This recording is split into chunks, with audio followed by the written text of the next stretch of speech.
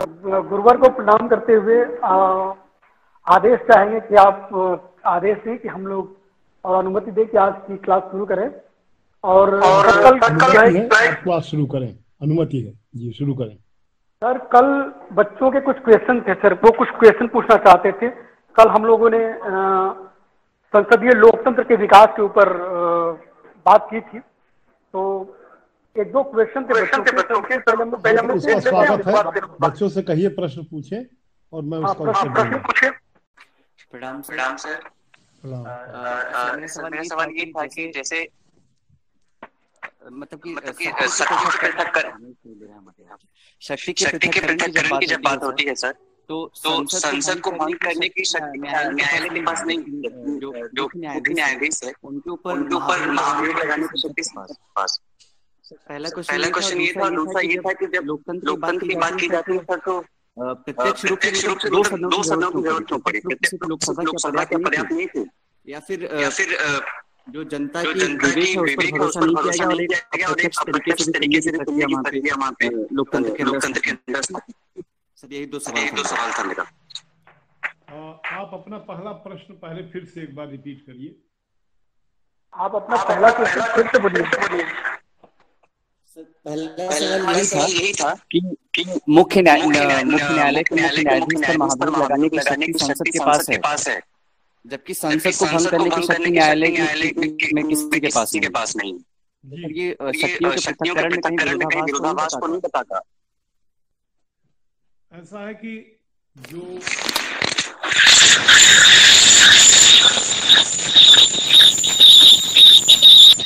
शुभम जी अपना microphone of कर दीजिए।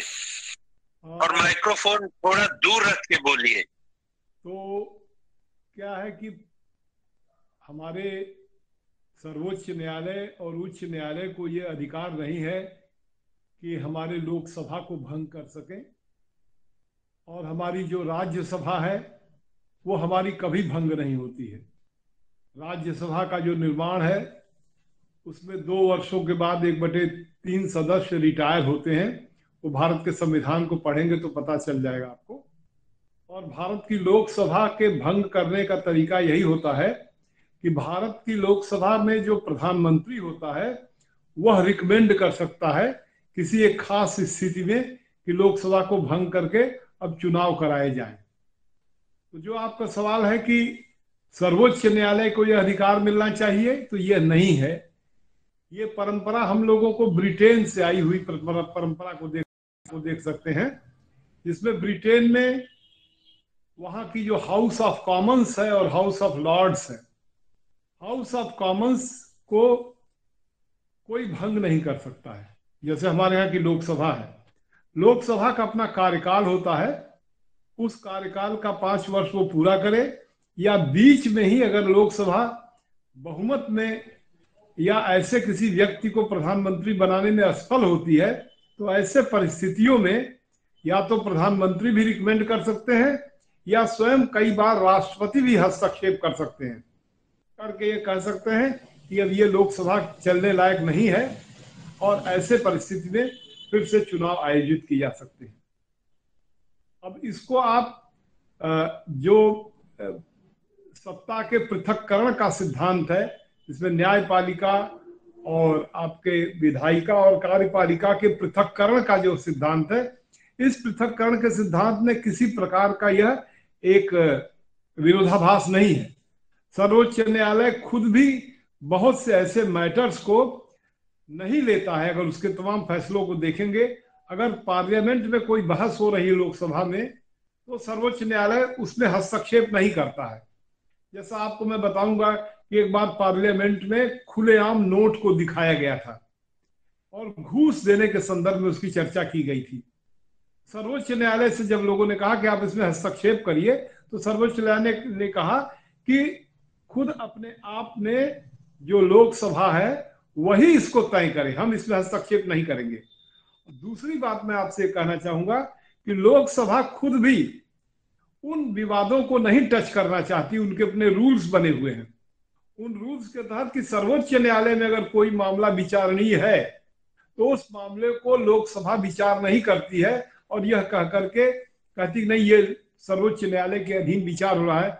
जैसे अभी हाल में ही अगर आप लोग बहुत ध्यान से देखेंगे, एक पार्लियामेंट के लोकसभा के सदस्य ने एक मैटर को उठाया, पैगेसेस के मैटर को उठाया। तो वहाँ पर एक दूसरे सदस्य ने लोकसभा के रूल बुक को कोट किया।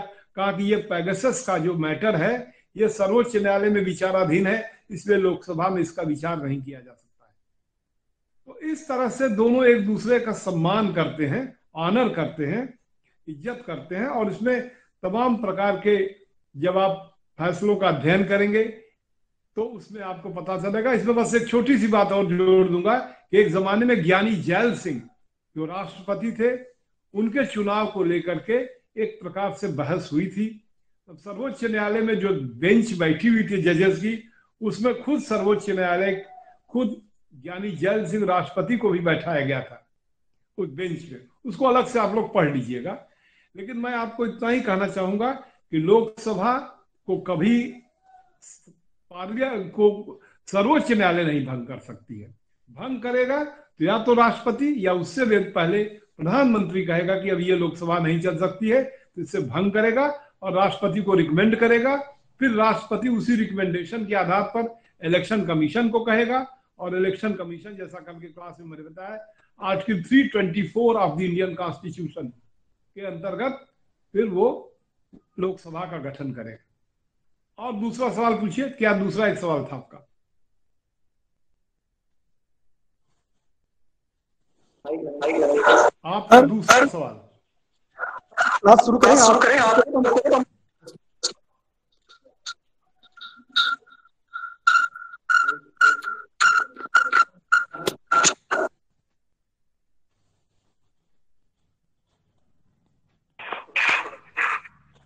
सर हम क्लास शुरू करें आप आदेश करें तो। क्लास शुरू करिए ठीक बात है क्लास शुरू करिए। इसका एक टॉपिक है नियोजन की अवधारणा। और मिश्रित अर्थव्यवस्था।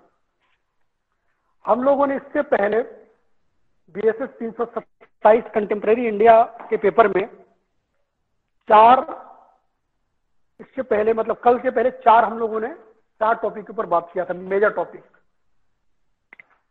आज पाँचवें टॉपिक के ऊपर बात करेंगे, क्योंकि आप आप ऑफलाइन आज आए हैं, इसीलिए दूसरे हम कि एक बार जो पीछे हम लोगों ने पढ़ाई की है वो पाँच टॉपिक जो है, उसके ऊपर हम फिर से एक बार बात करके आपको मोटा मोटी बता दें कि पीछे जो लाभ छूट गया हो आपसे उसको एक बार हम लोग पाँच मिनट में, सात मिनट में एक बार देख लेते हैं, ठीक? और आज ये टॉपिक जो है, इसके ऊपर हम बात शुरू करते हैं और जब तक ये लिख लेते हैं, फिर हम उसके ऊपर बात करते हैं। पहला और दूसरा यूनिट लिखिए, ले लीजिए किसी से। तो नियोजन क्या है? प्लानिंग क्या है? ये बीसवीं सदी की एक संकल्पना है। और भारत में यह पहली बार प्रयोग की गई थी। 1934 में एम जिसे सरैया की पुस्तक द प्लांट इकोनॉमिक्स में, द प्लांट इकोनॉमिक्स 1934 में एम विश्वेश्वरैया ने एक पुस्तक लिखी। वो एक वैज्ञानिक थे। उन्होंने 1934 में एक पुस्तक लिखी। मैं भारत के परिप्रेक्ष्य में बता रहा हूँ। और उस उस पुस्तक का नाम था द प्लांट इकोनॉमिक्स। ये 2013 जब मैंने जिस वर्ष, हमारा जरफ हुआ था मैंने जब मैं परीक्षा देने गया था तो पहला क्वेश्चन यही पूछा था, ये किसकी पुस्तक है?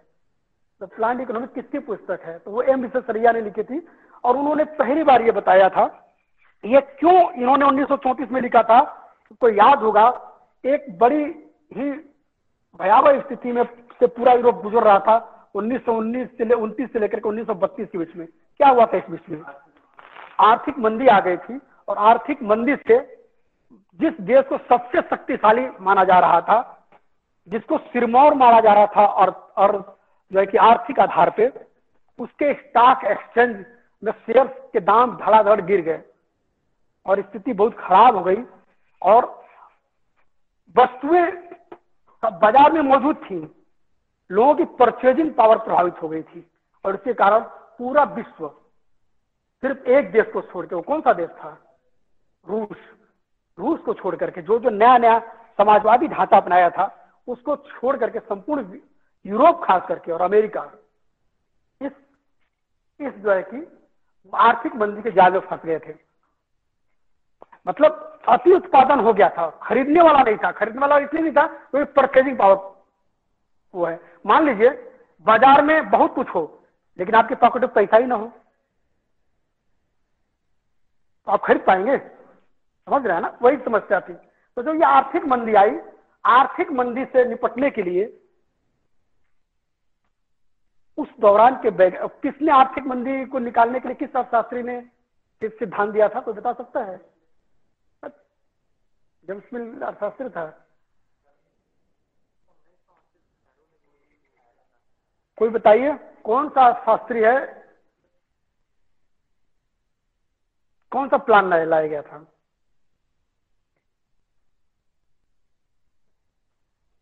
छोड़ दीजिए।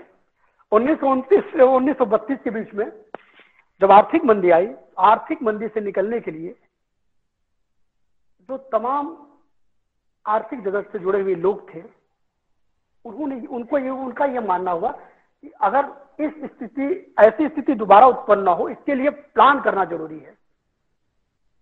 प्लानिंग होनी चाहिए और वो प्लानिंग अर्थव्यवस्था को लेकर के होनी चाहिए देश की।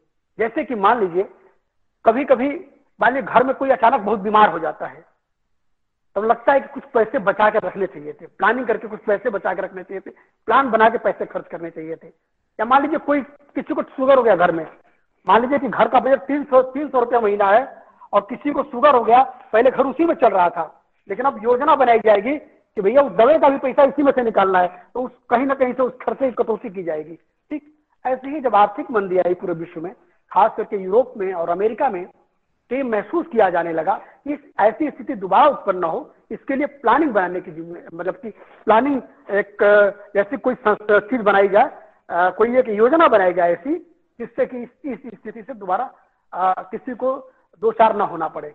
इसके लिए भारत में भी, भारत के एक वैज्ञानिक एम विश्वेश्वरैया ने एक किताब लिखी था प्लान इकोनॉमी ठीक? और भारत में जब उन्नीस सौ अड़तीस में, हमारे यहाँ जब उन्नीस सौ सैंतीस में चुनाव हुए ग्यारह ब्रिटिश प्रांतों में, और उसके बाद भारत में एक राष्ट्रीय योजना समिति बनाई गई, और जवाहरलाल नेहरू की अध्यक्षता में क्योंकि भारतीयों को पहली बार प्रशासन में हिस्सेदारी की बात हुई थी तो भाई वो कैसे हिस्सेदारी में अगर मतलब हिस्सेदार बन रहे हैं तो योजनाएँ कैसी बनाई जाए, उसको कैसे क्रियान्वित की जाए, इसके लिए उन्नीस सौ अड़तीस में नेशनल प्लानिंग कमीशन जो है कि सॉरी कमेटी बनी जिसमें जवाहरलाल नेहरू जो है कि उसके अध्यक्ष बने। और योजना कैसी बननी चाहिए? आ, किस मद में कितना खर्च कर, किया जाना चाहिए? उस उस उस खर्च करने का उद्देश्य क्या होना चाहिए? उस माध्यम से कितना जो है कि बचाना चाहिए? और उससे क्या फ़ायदा होगा राष्ट्र को? ये सारी सोच करके प्लानिंग की बात हुई। इसी इसी की अगली कड़ी में बॉम्बे प्लान बना। उन्नीस सौ चौवालीस पैंतालीस में उद्योगपतियों ने मिलकर बॉम्बे प्लान बनाया। अर्थव्यवस्था को और जो है कि गति देने के लिए भारत के भारत के उद्योगपतियों ने मिलकर के बॉम्बे प्लान बनाया और फिर जब भारत स्वतंत्र हुआ, भारत के मूल संविधान में तो नहीं, लेकिन संविधान संस्थाएँ बनाई गई, जैसे योजना आयोग, जैसे राष्ट्रीय विकास परिषद। इनका ज़िक्र संविधान में नहीं है, ये संवैधानिक संस्थाएँ नहीं है। संवैधानिक संस्था का मतलब यह है कि संविधान में इसका कोई ज़िक्र नहीं है। लेकिन ये जो है उतनी ही महत्वपूर्ण थी और ये प्लानिंग कमीशन अभी दो चार साल पहले तक काम करता रहा, जो 1950 में बना और दो चार साल पहले तक, यानी करीबन करीबन सत्तर साल के आसपास, सत्तर साल करीबन वो रहा और उसके माध्यम से भारत में कृषि के क्षेत्र में, उद्योग के क्षेत्र में, शिक्षा के क्षेत्र में विकास करने के लिए ये योजनाएँ जो है कि मूर्त रूप जो है कि पे उतारी गई थी। तो इस तरह से नियोजन की जो अवधारणा है वो यहाँ से आई है कि नियोजन जो है कि किया जाए। अब अब हम अब तक आपको भूमिका बता रहे थे। अब हम बताएँगे कि नियोजन की अवधारणा का भारत की स्वतंत्रता के बाद से क्या लेना देना है। नियोजन दो प्रकार का होता है। एक तो लोकतंत्रात्मक शासन के अंतर्गत नियोजन और दूसरा है समाजवादी शासन के अंतर्गत नियोजन। भारत जो है, वो लोकतंत्रात्मक नियोजन के अंतर्गत आया। लेकिन सबसे बड़ी समस्या ये थी कि जो नियोजन किया जाए, वो किस प्रकार का किया जाए? नियोजन कई प्रकार से किया जा सकता है। प्लानिंग कई तरह की बनाई जा सकती है। उस नियोजन में जो भारत में नियोजन की बात की गई, उसमें रखा गया कॉन्सेप्ट किसका? किस तरह का नियोजन करेगा? मिश्रित अर्थव्यवस्था के आधार पर मिश्रित मिला करके। दो तरह की अर्थव्यवस्था थी उस समय प्रसिद्ध। जिसमें एक थी समाजवादी अर्थव्यवस्था और एक थी पूंजीवादी व्यवस्था। पूंजीवादी अर्थव्यवस्था ऐसी अर्थव्यवस्था जिसके अंतर्गत उत्पादन के साधन वितरण के ऊपर और पूंजी के ऊपर किसका नियंत्रण था? किसी व्यक्ति विशेष या पूंजी विशेष या पूंजीपति घराने का अधिकार होता था। तो ऐसी स्थिति को पूंजीवादी अर्थव्यवस्था के अंतर्गत रखते हैं। और समाजवादी अर्थव्यवस्था का मतलब था कि संसाधन के संपूर्ण साधन पे राज्य का अधिकार था। और वितरण और उत्पादन का नियंत्रण भी राज्य के ऊपर ही था। ठीक? देखिए, समस्या ये थी कि जब भारत स्वतंत्र हुआ था तो न वो, न तो वो पूरी तरह से पूंजीवादी अर्थव्यवस्था को अपना सकता था और न तो पूरी तरह से समाजवादी। क्योंकि भारत जब स्वतंत्र हुआ था तो भारत में सुई भी नहीं बनती थी। भारत सुई बनाने के लिए भी आत्मनिर्भर नहीं था। अगर वो पूरी तरह से समाजवादी अर्थव्यवस्था को अपना लेता तो जो यहाँ के पूंजीपति थे, जो राष्ट्रवादी आंदोलन के दौरान भी थे खड़े थे लोगों के साथ, उनका क्या होता? अगर भारत जो है, पूरी तरह पूंजीवादी अर्थव्यवस्था को अपना लेता तो सार्वजनिक क्षेत्र का निर्माण हो जाता। शिक्षा के क्षेत्र में काम कौन करता? है गरीबी को दूर कौन करता? है कृषि का विकास कौन करता? समझ रहे हैं ना? इसीलिए भारत ने बीच का रास्ता अपनाया। ना तो उसने पूरी तरह से समाजवादी अर्थव्यवस्था को अपनाया, और ना तो उसने पूरी तरह से पूंजीवादी अर्थव्यवस्था को अपनाया, उसने मिश्रित अर्थव्यवस्था करने अपनाया। मतलब मिला जुला के अर्थव्यवस्था। यानी वो पूंजीवादी भी था, यानी यानी निजी क्षेत्र को भी मौका दिया गया, और समाजवादी, जो एक समाजवादी मतलब सार्वजनिक क्षेत्र को भी, जिसमें सरकार ने खुद उद्यम लगाए जैसे रेलवे, जैसे डाक तमाम जो क्षेत्र थे, जैसे सीमेंट वाला शुरू में। सरकार ने पूरी तरह पूंजीपतियों के हाथ में इसलिए नहीं दे दिया देश को, क्योंकि भारत जो है 190 साल तक तो गुलाम था। और एक व्यापारिक कंपनी ने जो है कि उसको गुलाम बनाने की प्रक्रिया शुरू की थी। तो इसलिए भारत इससे बचा। और 1990 तक, जब तक कि बहुत आर्थिक स्थिति न खराब हो गई हो, तब तक हम देखेंगे अधिकतम जो भी महत्वपूर्ण उद्योग थे, वो सरकार के नियंत्रण में थे। निजी क्षेत्र में कुछ विशेष उद्योग थे। और सरकार के नियंत्रण के कारण जो है कि अगर आप अगर आप घर में किसी से बात करिए, जो लोग बड़े होंगे 1990 से पहले सीमेंट जो था, वो, जो वो जो खाद मिलता है ना, वो जो रासायनिक खाद होता है, जो सोसाइटी मिलता है, वही जो सीमेंट में मिलता था। क्योंकि उसको सिर्फ़ कौन बना सकता था? सरकार बना सकती थी। लेकिन इसके बाद इसको प्राइवेट सेक्टर में दिया गया, सीमेंट को, मोटर वाहन। यही नहीं, टेलीफोन जो आप लोग फ़ोन करते हैं 2000 तक सन 2000 तक फ़ोन जो था, वो स्टेटस सिंबल था। यानी जिसके घर में फ़ोन था, यानी बड़ा आदमी था वो। मोबाइल की बात नहीं कर रहा हूँ, फ़ोन की बात कह रहा हूँ। मोबाइल तो उन्नीस में पहली बार आया है। बंगाल के मुख्यमंत्री और सुखराम जो है, संचार मंत्री, उनके बीच पहली बार मोबाइल बात हुई उन्नीस में। उस समय आप, बहुत सारे लोग उसके दो चार साल पैदा भी हुए होंगे। और उस समय फ़ोन जो था वो स्टेटस सिंबल हुआ करता था। लेकिन जब 2000 उन्नीस से 2004 वाली सरकार आई तो आप देखेंगे उसकी नीतियों के कारण जब इसको प्राइवेट सेक्टर में दिया गया, हर आदमी के पास फ़ोन है। अब टेलीफोन का काम खत्म हो गया, नहीं तो उसी, वो टेलीफोन रोज बिगाड़ रहता था और बीएसएनएल के जो कर्मचारी थे उस समय, वो अपने आप को राष्ट्रपति के बाद दूसरे नंबर मानते थे। क्योंकि वो किसी की भी लाइन काट सकते थे, किसी का भी फ़ोन खराब हो तो नहीं जा सकते थे। समझ रहे हैं ना? क्योंकि वो गवर्नमेंट सेक्टर में था। उन्नीस सौ इक्यानवे की न्यू न्यू इकोनॉमिक पॉलिसी के बाद सिर्फ़ कुछ महत्वपूर्ण जो राष्ट्र हित के मुद्दे थे, उनको छोड़ करके अधिकतम जो है कि क्षेत्रों को खोल दिया गया, क्योंकि भारत के पास विदेशी मुद्रा भंडार की कमी हो गई थी, क्योंकि सार्वजनिक क्षेत्रों की बाढ़ सी थी। सरकार का नियंत्रण ज़्यादा था। समझ गया ना? तो इस तरह से भारत ने नियोजन की जो संकल्पना अपनाई, उसमें मिश्रित अर्थव्यवस्था को अपनाया। और मिश्रित अर्थव्यवस्था का मतलब होता है कि पूंजीवादी अर्थव्यवस्था को भी, यानी पूंजीपति भी रहे और सार्वजनिक क्षेत्र में के तहत जो है कि समाजवादी व्यवस्था को भी अपनाई।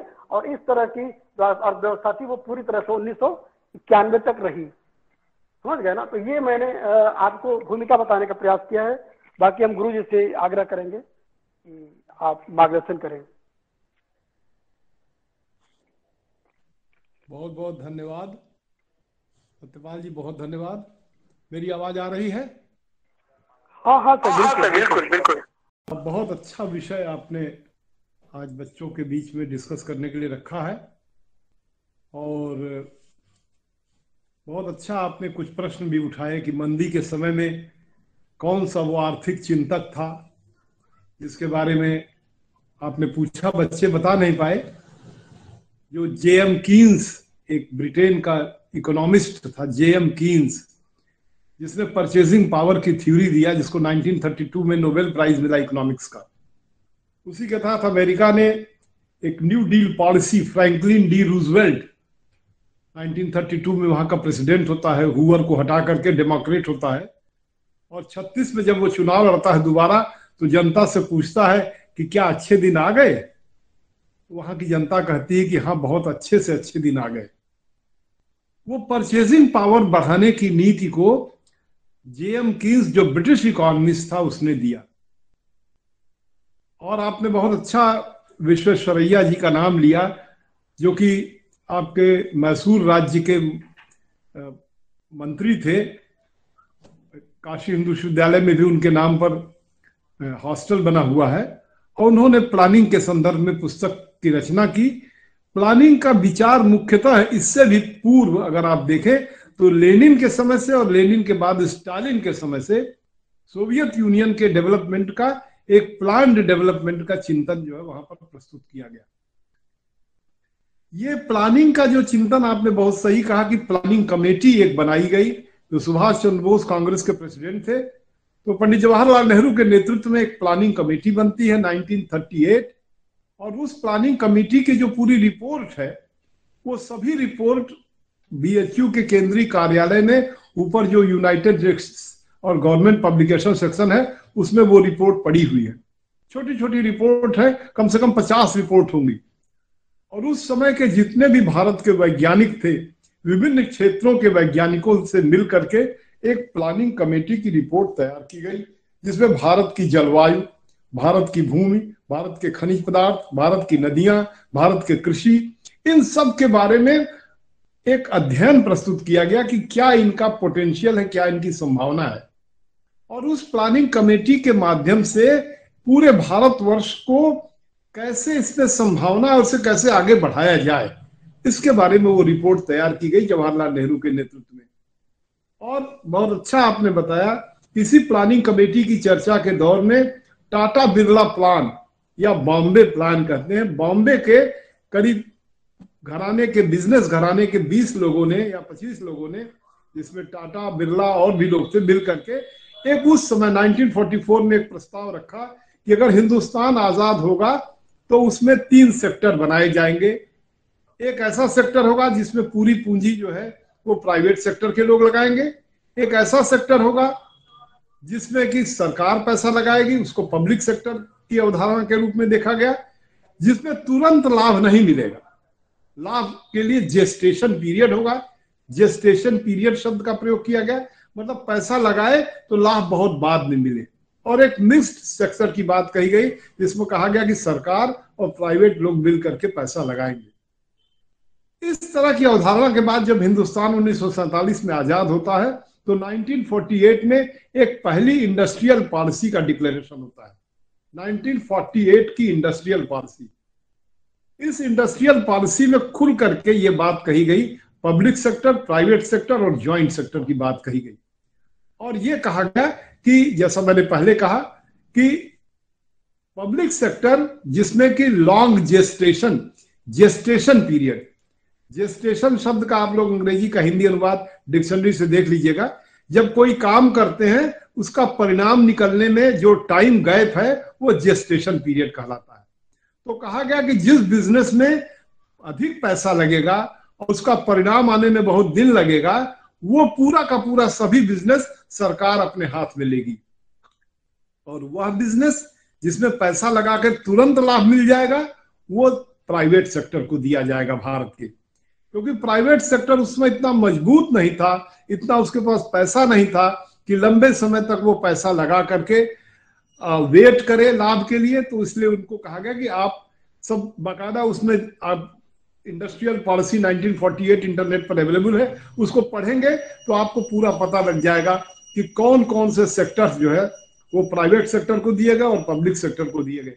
डॉक्टर सत्यपाल ने बताया कि पब्लिक सेक्टर में जैसे रेलवे हुआ आपके ट्रांसपोर्टेशन हुआ, आपके जो है वो जहाजरानी वगैरह का हुआ एयरपोर्ट वगैरह हुआ, ये सब जो जहाँ पर बहुत बड़ी बड़ी हैवी पूंजी लगनी थी, उन सब में सरकार का सेक्टर रखा गया और प्राइवेट सेक्टर जिसमें बहुत छोटी छोटी चीज़ों को बना करके लाभ कमाया जा सकता था और उसको उन लोगों को दिया गया। इवन उसी समय जैसे कार वगैरह बनाने का था लेलैंड नामक जो है कार कार क्या कहिए आप, एक ट्रक थी, वो ब्रिटिश अधीन थी तो उस लैंड को जो है वो बिरला को दिया गया।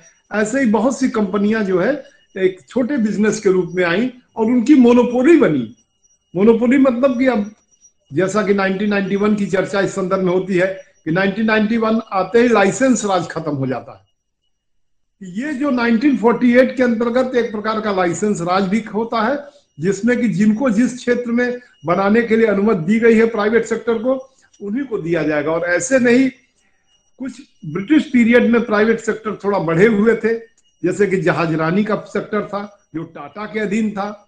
किन्हीं भी सोच के चलते जवाहरलाल ने उनका नेशनलाइजेशन किया, और आज जाकर के 2021-22 में वो नेशनलाइजेशन में फिर वो जहाज़ उनको लौटा दिया गया इंडियन एयरलाइंस को। ये सब भी परिप्रेक्ष्य को आपको ध्यान में रखना पड़ेगा कि उस समय के चिंतन का क्या परिप्रेक्ष्य था। प्लानिंग कमेटी और प्लानिंग कमीशन का और इसी संदर्भ में एक बात और आपको ध्यान में रखनी चाहिए कि 1949 में गवर्नमेंट ऑफ़ इंडिया का एक बहुत बड़ा डिक्लेरेशन आया, जो डिक्लेरेशन जाकर 1991 में समाप्त कर दिया गया, जब न्यू इकोनॉमिक पॉलिसी आती है, वो डिक्लेरेशन था कि भारत में विदेशी पूंजी कितनी लगेगी। तो उस डिक्लेरेशन में कहा गया कि भारत में कोई भी विदेशी पूंजी लगेगी तो किसी भी कंसर्न में, किसी भी इंटरप्राइज में भारत में विदेशी पूंजी 49 परसेंट से अधिक नहीं लगेगी। जिससे कि किसी भी भारत के इंटरप्राइज का किसी भी कंसर्न का आ, कोई विदेशी ओनरशिप नहीं कर पाएगा डोमिनेंट ओनरशिप एक्सेप्ट उन क्षेत्रों के जहाँ पर कि आपके पास टेक्नोलॉजी अवेलेबल नहीं है। भारतवर्ष में बहुत से ऐसे क्षेत्र जिनमें टेक्नोलॉजी नहीं अवेलेबल थी जैसे आप देखिए यूनियन कार्बाइड का नाम आपने सुना होगा जो 1984 में जो आपके एक यूनियन कार्बाइड का ब्लास्ट हुआ था भोपाल में जो बहुत से लोग क्लोरीन पूरे शहर में फैल गए थे, बड़े लोग अंधे हो गए थे, वो यूनाइटेड स्टेट्स ऑफ़ अमेरिका के अधीन था।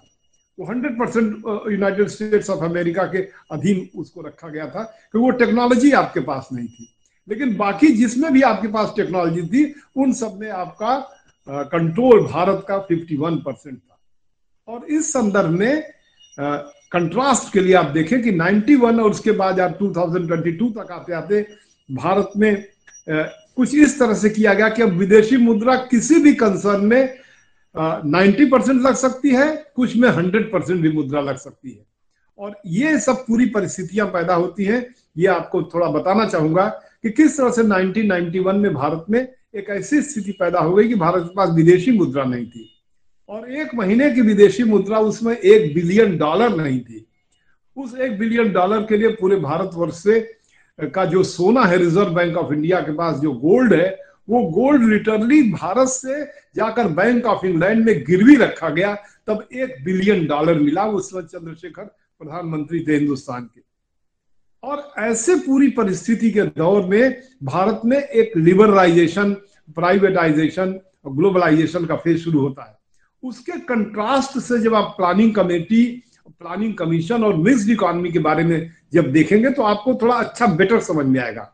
और इसी संदर्भ में जब इंडिया इंडिपेंडेंट होता है तो चूँकि जवाहरलाल प्लानिंग कमेटी के चेयरमैन थे तो स्वतंत्र होने के बाद हुआ कि हमें डेवलपमेंट करना होगा तो वो डेवलपमेंट में हम लोगों को प्लानिंग कमीशन बनाएगा।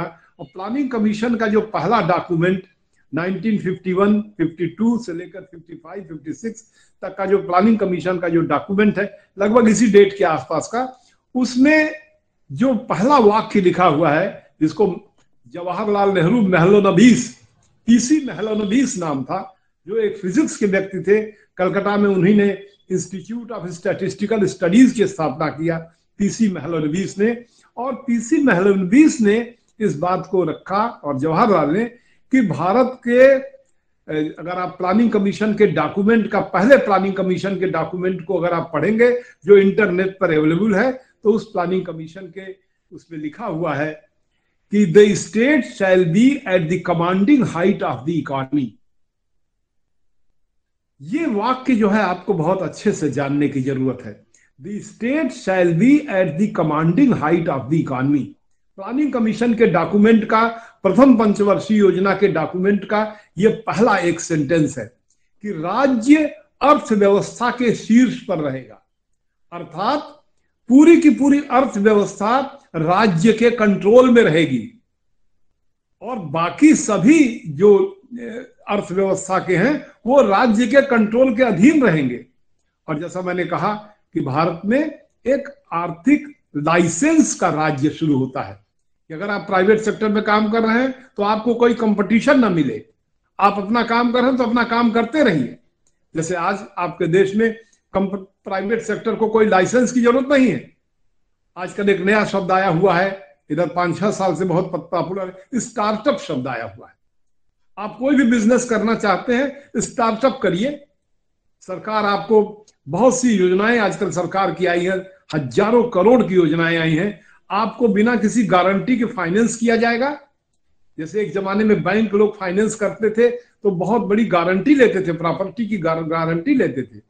नए रिजीम के तहत जो नया पैराडाइम शिफ्ट हुआ है, जो एक सोच में परिवर्तन हुआ है, उसमें है कि तमाम प्रकार के स्टार्टअप खोले जाएँ और स्टार्टअप के माध्यम से कई लोगों को रोज़गार दिए जाए और इसमें बैंक बहुत लिबरल वे में फाइनेंस करे। कोई गारंटी लेने की ज़रूरत नहीं बैंक को।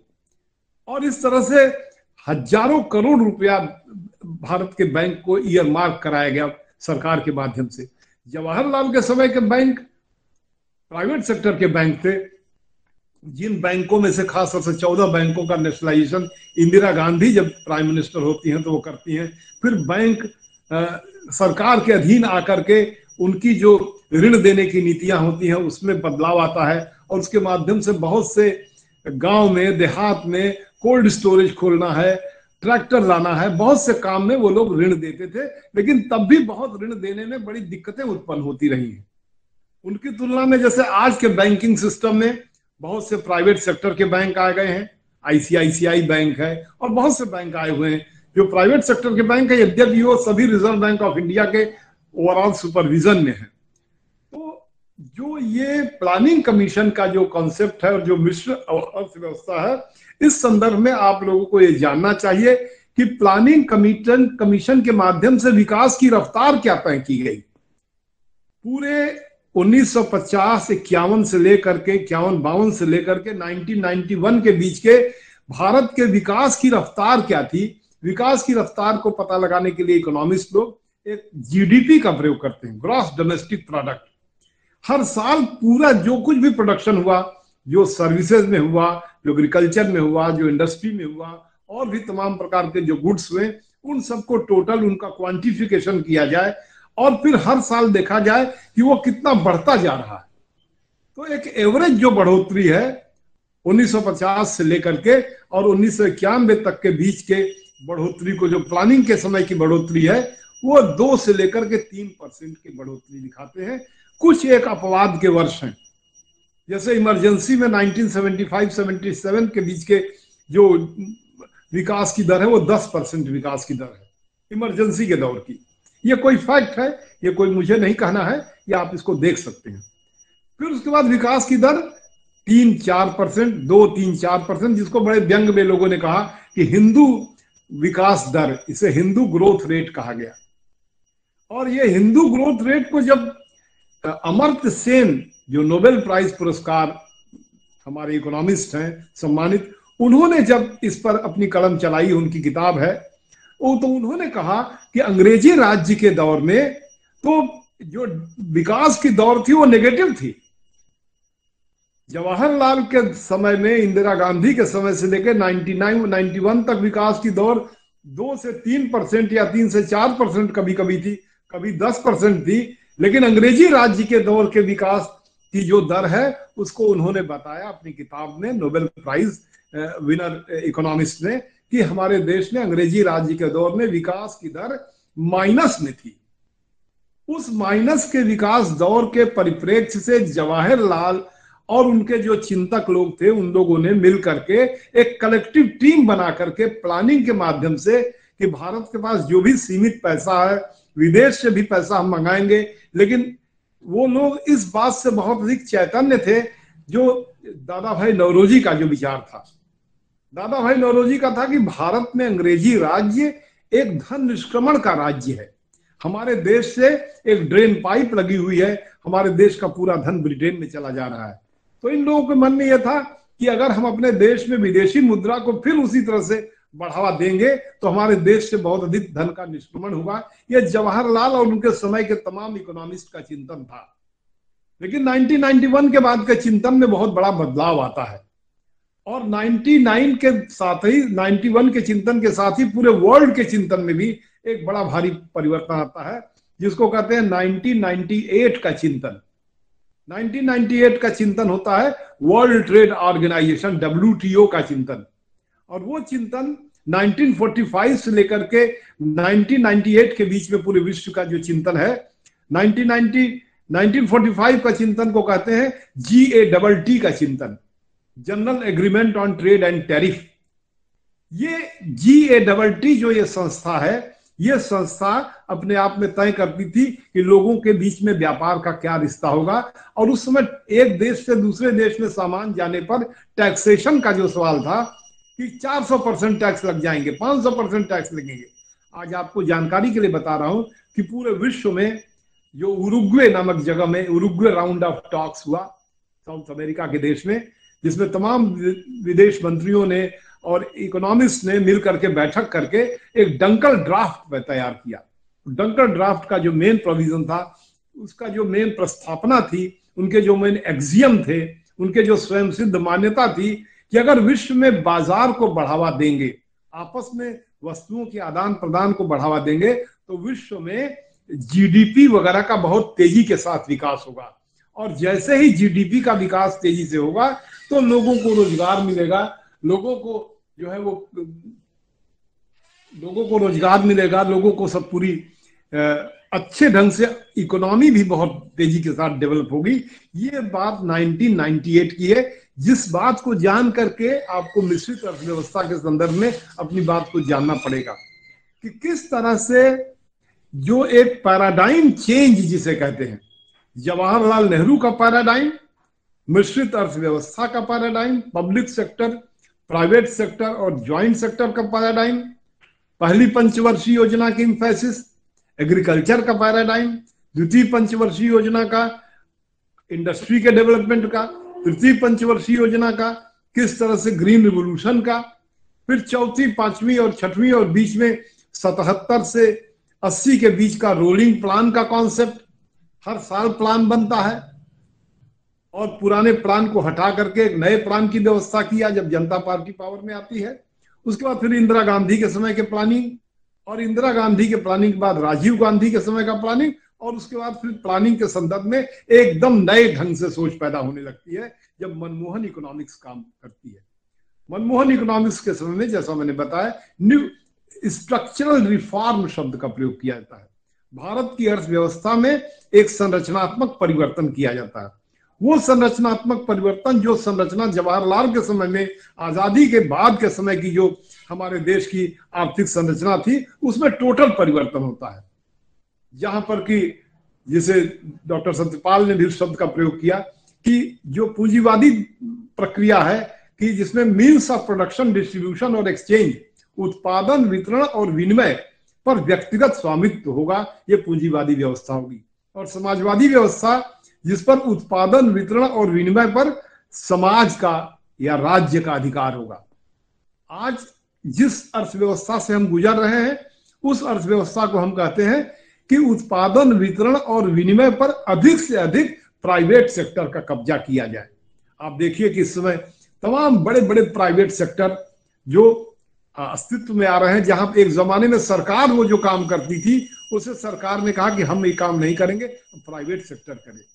और सरकार इस बात को बहुत ही खुशी से घोषित कर रही है कि प्राइवेट सेक्टर के माध्यम से हम बहुत से पैसे लगा रहे हैं और इंफ्रास्ट्रक्चर इतना अधिक इंफ्रास्ट्रक्चर हम डेवलप कर रहे हैं कि उस इंफ्रास्ट्रक्चर के डेवलपमेंट करने के चलते हमारे देश में कुछ इस तरह का वातावरण बनने जा रहा है, जिसको मैंने पहले भी कहा कि हमारे देश में ऐसे स्टार्टअप बनने जा रहे हैं। इसी संदर्भ में उन्होंने यूनिकॉर्न शब्द का प्रयोग किया है। यूनिकॉर्न तो एक एक एक एक ऐसे जंतु की चर्चा होती है जिसके बाद एक सींग हो, लेकिन यूनिकॉर्न उस स्टार्टअप को कहते हैं, जिस स्टार्टअप को स्टार्ट करने में एक बिलियन डॉलर लगे। मैं आपको ऐसे सूचित कर रहा हूँ, आप जानते होंगे, लेकिन फिर भी सूचित कर रहा हूँ कि इस समय यूनिकॉर्न ऐसे स्टार्टअप जिसमें एक बिलियन डॉलर लगे हैं, वो सबसे अधिक अमेरिका में है सेकंड नंबर पर चाइना में है, और थर्ड नंबर पर इंडिया में है। अर्थात इंडिया जिस रास्ते के विकास को अब अपनाया है उसमें मिक्स्ड इकोनॉमी का जो गवर्नमेंट का जो रोल था, उसको बहुत अधिक कम कर दिया गया। अब गवर्नमेंट का रोल इतना ही है कि जो हमारे यहाँ के कमज़ोर वर्ग के लोग हैं, उन लोगों को पढ़ने में उनको मुफ़्त की पढ़ाई कराई जाए, उनको जो है स्कॉलरशिप दिया जाए, जो कमज़ोर वर्ग के लोग हैं, उनको जो है वह अन्न मुहैया कराया जाए लेकिन उन लोगों को इस बात के लिए भी प्रेरित किया जाए कि अगर वो पढ़ लिख ले रहे हैं तो सरकार के ऊपर नौकरी के लिए ऐसे सीधे निर्णय, मैंने मुखापेक्षी होने के बजाय सरकार अभी भी करेगी नहीं, हम जॉब देंगे। हम पावर में आएँगे तो इतने सिपाही भर्ती करेंगे, इतने मिलिट्री में लोगों को भर्ती करेंगे, इतने रेलवे में भर्ती करेंगे, और इतने जो है चतुर्थ श्रेणी कर्मचारी होंगे, ये सब कर रही सरकार। अभी इससे पीछे नहीं हट रही है।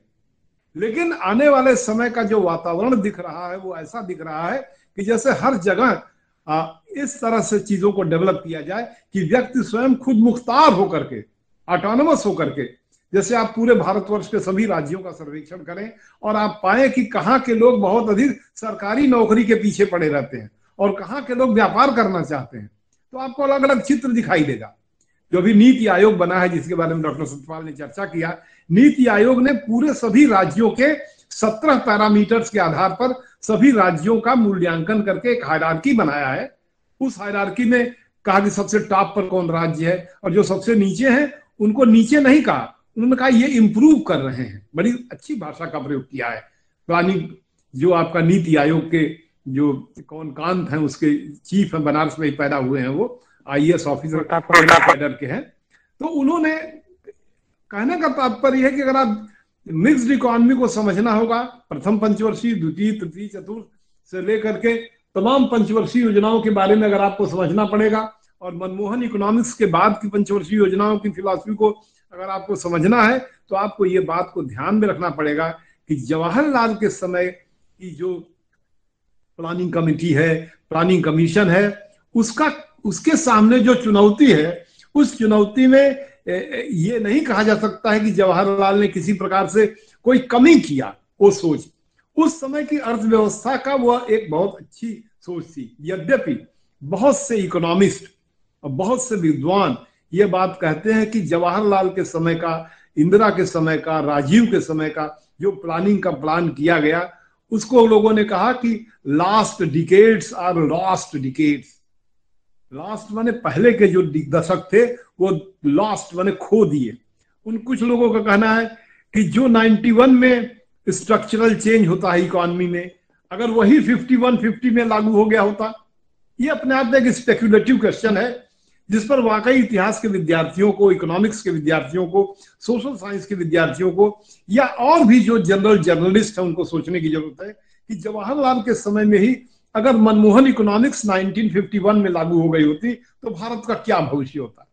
ये एक स्पेकुलेटिव क्वेश्चन है, जिसका उत्तर मैं देने की कोशिश करूँगा। आप लोग अपने मन से देने की कोशिश करिएगा, दीजिएगा। कि 1951 में अगर आपका देश मनमोहन इकोनॉमिक्स के रास्ते पर बढ़ता, विदेशी पूंजी आपके देश में लगती तो आपका देश, मेरा यह है कि एक डेमोक्रेसी को बहुत बड़ा खतरा होता। भारत में विदेशी पूंजी आपके देश में डिक्टेटरशिप को लागू करती किसी एक पॉलिटिकल पार्टी की डिक्टेटरशिप होती जैसा कि वो तमाम देश जहाँ पर मल्टीनेशनल कंपनियों ने अपनी पूंजी लगाया। उन देशों में जब डेमोक्रेसी का प्रयास किया गया तो उन सबों में डिक्टेटरशिप लागू की गई। जैसा कि चिली के 1973 में चिली में वहाँ का चुना हुआ जो राष्ट्रपति था, एलेंडे था, जो था कम्युनिस्ट लेकिन जब वो चुन करके आया तो आते ही उसने वहाँ की मल्टीनेशनल कंपनी अमेरिका की थी, जिनका वहाँ के तांबे के खदानों पर कब्जा था, उसने उनको नेशनलाइज कर दिया। नेशनलाइज करने के दस दिन के अंदर ही चिली का जो, वो डेमोक्रेटिक नेता था, वो मार दिया गया और वहाँ पर एक डिक्टेटरशिप कायम हुई और वो डिक्टेटर बहुत लंबे समय तक वहाँ डिक्टेटर रहा। और बाद में उसको जो है इंटरनेशनल कोर्ट से उसको गिरफ़्तार किया गया। बाद में खैर वो छूट गया और बहुत अधिक अमानवीय बातें उनके देश में हुई। तो एक भारत जो एक डेमोक्रेटिक कंट्री रहा, उस रास्ते पर वो आगे बढ़ा, वो चीज़ें उसमें न हो पाती। या अगर आप फिर कंट्रास्ट करिए, चाइना से कंट्रास्ट कर लीजिए आप अपने को, वो 1949 में आज़ाद होते हैं। तो चाइना का जो डेवलपमेंट है, वो भी एक प्रकार के माओजेदांग के नेतृत्व में एक प्लान डेवलपमेंट है, जो सोवियत यूनियन के कॉन्सेप्ट से प्रभावित है। लेकिन माओ से तुंग के डेवलपमेंट में एक बड़ा ही एक विचित्र अब ये इसलिए मैं ये चर्चा कर रहा हूँ कि आप अपने प्लानिंग कमीशन को कंट्रास्ट में समझ सकें। पूरे विश्व में क्या क्या हो रहा है उससे। तो चाइना में जिस तरह का डेवलपमेंट होता है, खासतौर से 1980 तक, जब तक कि माओ से तुम उनके देश में है, उनके यहाँ सांस्कृतिक क्रांति होती है, उनके यहाँ विश्वविद्यालय बंद कर दिए जाते हैं। सब लोगों को कहा जाता है कि खेत में जाओ, काम करो। और उस सांस्कृतिक क्रांति के दौर में सब लोगों को वस्त्र तय कर दिए जाते हैं, कितने कपड़े पहनने हैं, दो हाफ़ पैंट दो शर्ट पहन करके खेतों में काम करिए।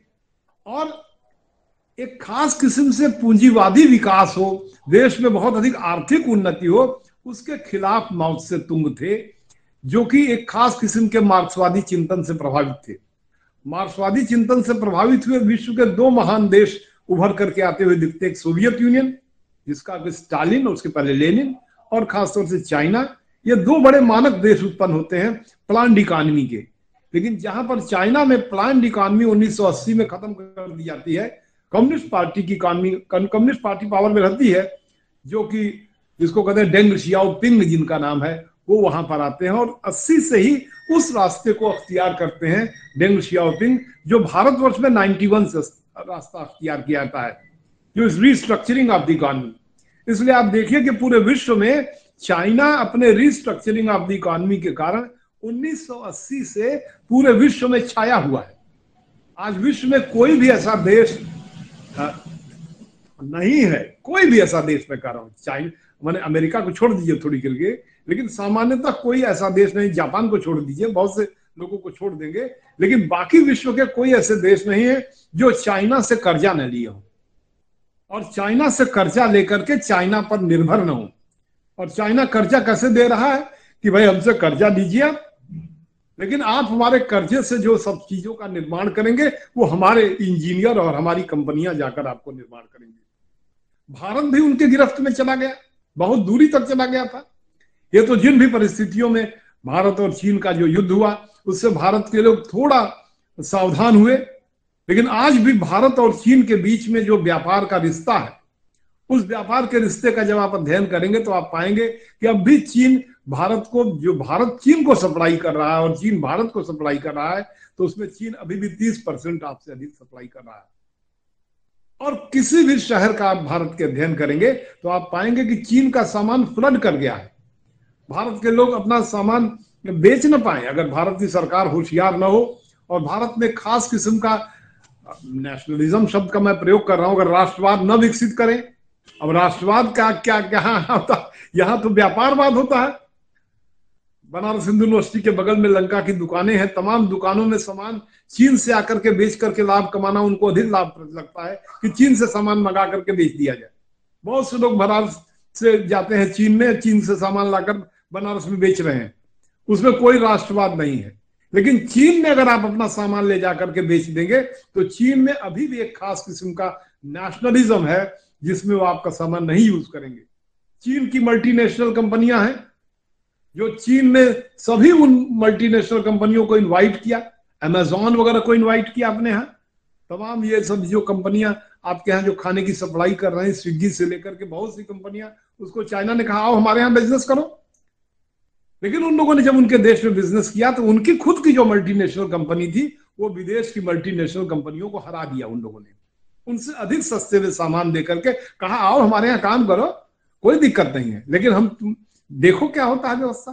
तो ये एक आपके सामने मैंने कंट्रास्ट रखा कि आप चाइना के मॉडल को भी देखिए और फिर भारत के प्लानिंग कमीशन और जो ये नया चेंज, जो कंट्रास्ट हुआ है, उसको भी आपको देखेंगे। और इस परिप्रेक्ष्य को लेकर के जब जवाहरलाल के समय के इकोनॉमिक्स को उनकी मिक्स्ड इकोनॉमी को पब्लिक सेक्टर प्राइवेट सेक्टर और ज्वाइंट सेक्टर को समझेंगे तो आप थोड़ा अप्रिशिएट कर पाएँगे कि उस जमाने में जो ये बात जवाहरलाल और महलानबीस कहते हैं कि the state shall be at the commanding height of the economy उस समय शायद वो ज़रूरी रहा हो। भारत अगर वो रास्ता ना अख्तियार करता तो भारत कई गुलामी के चक्कर में पड़ता। हो सकता है भारत के कई टुकड़े विदेशी कंपनियाँ करा देती। भारत के, जैसा कि आप देखेंगे कि आज़ादी की लड़ाई के दौर में जब राष्ट्र, जब भारत के तमाम राज्य लोग, जो नेटिव स्टेट मिल रहे थे तो आप देखें ट्रेवेनकोर के मंत्री ने क्या बोला था? उसने ब्रिटेन से कहा कि हम स्वतंत्र हैं, हमारे यहाँ इतना सामान होता है कि हमको स्वतंत्र कर दिया जाए, हमारे साथ स्वतंत्र संबंध बना के रखिए। लेकिन जैसा कि मैंने कभी बताया था कि इंग्लैंड, ब्रिटेन खुद नहीं चाहता था कि भारत के कई टुकड़े हों। ये बात कहाँ से पता है? अगर आप लोग लाइब्रेरी जाते होंगे बीएचयू के तो बीएचयू के लाइब्रेरी के ट्रांसफ़र ऑफ़ पावर के डॉक्यूमेंट्स का बारहवा वॉल्यूम पढ़िएगा, या लास्ट वॉल्यूम पढ़िएगा। ट्रांसफ़र ऑफ़ पावर का वॉल्यूम्स है 1940 से उन्नीस सौ सैंतालीस तक के बीच का।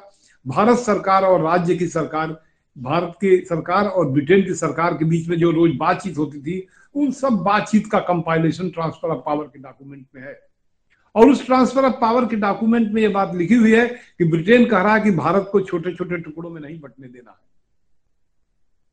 अगर ये छोटे छोटे टुकड़ों में बढ़ जाएगा तो स्टालिन आकर के अपना राज्य यहाँ कायम कर लेगा, जैसा कि उसने ईस्टर्न यूरोप के तमाम देशों पर राज्य कायम किया था। कहने का तात्पर्य मेरा यह है कि ये मिक्स्ड इकोनॉमी ये पब्लिक सेक्टर और ये ज्वाइंट सेक्टर और प्राइवेट सेक्टर की जो इंस्ट्रूमेंटेलिटी थी, जो ये औज़ार था जो ये हथियार था, जो भारतवर्ष में आज़ादी की लड़ाई के दौर से, उसके गर्व से उत्पन्न होकर के आया, जो भारत के स्वायत्तता, भारत की आज़ादी, भारत की अस्मिता पर आधारित था, उसको आपको इस परिप्रेक्ष्य में देखना पड़ेगा। और 91 तक आते आते भारत एक ऐसी स्थिति में आ गया कि ठीक है कि अब विदेशी मुद्रा हमारे देश में अगर आएगी तो हमारे पाँव नहीं उखड़ जाएँगे। जैसा कि एशिया के बहुत से देशों के साथ हुआ जिनके विदेशी मुद्रा लगी, जैसे साउथ कोरिया में हुआ था 1998 में। उनकी पूरी इकोनॉमी ध्वस्त हो गई 1998 में। विदेशी मुद्रा लगी थी, एकाएक पूरी विदेशी मुद्रा बाहर चली गई। वहाँ के लोग बेरोजगार हो गए। तो इस तरह से फॉरेन कैपिटल के लगने का प्राइवेट सेक्टर के डेवलपमेंट होने का क्या नेगेटिव इम्पैक्ट हो सकता था भारत के ऊपर, उन सब का भी एक समझदारी रख करके जवाहरलाल और इंदिरा गांधी और राजीव गांधी के ये जो पीरियड है, बीच में मुरारजी देसाई या चौधरी चरण सिंह का पीरियड है, इन सब का प्लानिंग का मूल्यांकन आप कर सकते हैं। तो इन्हीं शब्दों के साथ मैं आप लोगों से अपनी बात समाप्त कर रहा हूँ और फिर मैं आपसे ये कह रहा हूँ कि आप थोड़ा इंटरनेट पर अवेलेबल होगा। आप जरा उसको भी देखिएगा कि सेक्टर वाइज एग्रीकल्चर पर कितना पैसा लगाया जवाहरलाल ने एनर्जी पर कितना, कोयले पर कितना लगाया और नदियों के भाखड़ा नांगल बाँध और ये तमाम चीज़ों पर कैसे पैसे लगे, कैसे विश्वविद्यालयों में पूरे पैसे लगाए गए, किस तरह से लेबोरेटरीज वगैरह पर पैसे लगाए गए, सरकार ने पूरे पैसे लगाए। वो सब करके किस तरह से एक इंफ्रास्ट्रक्चर भारत का डेवलप हुआ कि भारत ग्रीन रिवोल्यूशन किया। 1939 में भारत के पास इतना पैसा नहीं था कि अपने लोगों को खाना खिला सके। आपको पता होगा 1951 में रूस जैसे थोड़ी देर के बंजर शब्द नहीं प्रयोग करूँगा, लेकिन साइबेरिया और तमाम ऐसे देशों वाला सबसे पहली बार भारत को अनाज ना, जबकि हम उनतालीस करोड़ थे बात, सबसे पहली बार चावल रूस ने भारत को दिया। तो इस तरह से आप ये बात देखिए कि भारत फिर आज 130 करोड़ है, आपके पास सफिशियंट अनाज है। तो वो सब अनाज के बैकग्राउंड में है कौन? वो पहली जो पंचवर्षीय योजना के माध्यम से हाई यील्डिंग वेराइटीज के माध्यम से एग्रीकल्चर के इंस्टीट्यूट खोलने के माध्यम से, वैज्ञानिक तमाम जो लैब्स वगैरह के खोलने के माध्यम से, जो प्लानिंग कमेटी के माध्यम से प्लान किया, भारत के पास जो भी सीमित साधन थे, उससे जो भारत एक अपना इंफ्रास्ट्रक्चर डेवलप किया, वो इंफ्रास्ट्रक्चर एक सलाम है भारत के प्लानिंग कमेटी और प्लानिंग कमीशन के ऊपर। तो बहुत बहुत धन्यवाद आप सभी लोगों को, धन्यवाद। कोई अगर क्वेश्चन बनेगा तो कल चाहे तो पहले क्वेश्चन पूछ लीजिएगा। तो इन्हीं शब्दों के साथ मैं अपना वक्तव्य आज का समाप्त कर रहा हूँ। ठीक है सतपाल जी। आज का लेक्चर समाप्त किया जाए हाँ। हाँ हेलो हाँ सर मेरी आवाज़ आ रही है। हाँ। आ रही आवाज़। तो बहुत बहुत धन्यवाद और बहुत अच्छा लगा। आज आपके क्लास में वहाँ कितने बच्चे हैं? सर करीबन करीबन करीबन सर चालीस बच्चे होंगे चालीस बच्चे तो वो बच्चे हमारी बात सुन रहे हैं? सुन पा रहे हैं सब? हाँ सब सुन रहे हैं सर सब सुन रहे हैं। वाह बहुत अच्छा लगा कि भाई सुने तो कल जो है वो लोग अपना प्रश्न बनाए। सर इन लोग क्लास दो बजे से गए तो इन लोग को छोड़ देते हैं तो आप हाँ